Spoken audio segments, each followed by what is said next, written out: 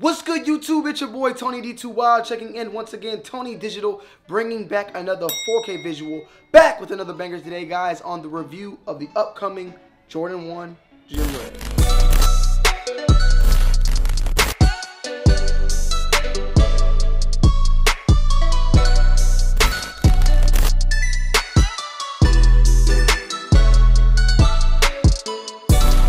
Guys, before we even get to this video, I got a live giveaway going on right now. Check out the link in the description. Check out my previous video giveaway going live on these right here. If you want to get a pair, make sure you guys tune in because I will leave it all down below in the description and free pair for you guys. The Jordan 1 Gym Red is set to release on June 29th. Retails $160 and it pays homage to the original, originated Jordan 1 colorway. That red, that black, and that white. You already know we've seen this in so many shape forms. Black toes, breads, bread 1, bread toes, black toe breads. I don't, Chicago's, there's so many different red, black, and white type of Jordan 1s that are out there. And this is just a brand new one being brought to the collection for all you Jordan 1 heads out there.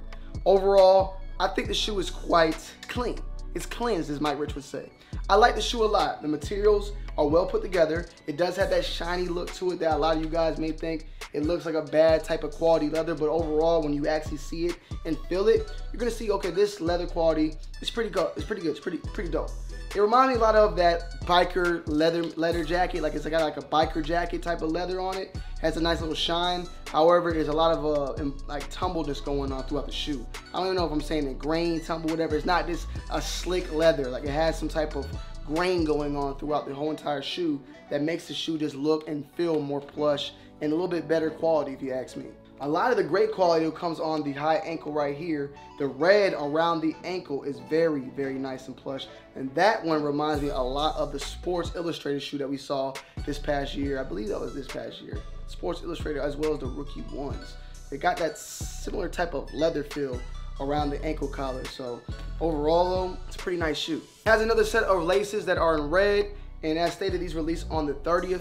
Now, wait, did I say 30th? My bad, the 20th. Let, let, me, let me fact check that real quick. So yeah, they release on the 29th, that is Saturday. And overall, I think that these will, I don't know if they're gonna sell out. I mean, they're going for like $300 right now. That's early and that's pretty normal for any Jordan 1. They usually sell around the $250, $300 price point. But then when they release, they usually sell out. I mean, even the Crimson Tints that didn't really go for much afterwards. I don't see them in stores, you know what I'm saying? And I sold my pair.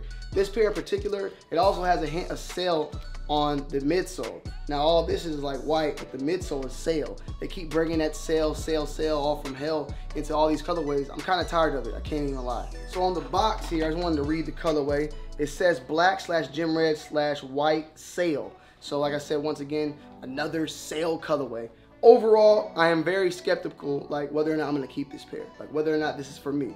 I like the colorway, don't get me wrong. If you want a Gym Red Jordan 1, I, I say go for it, you know, at the end of the day.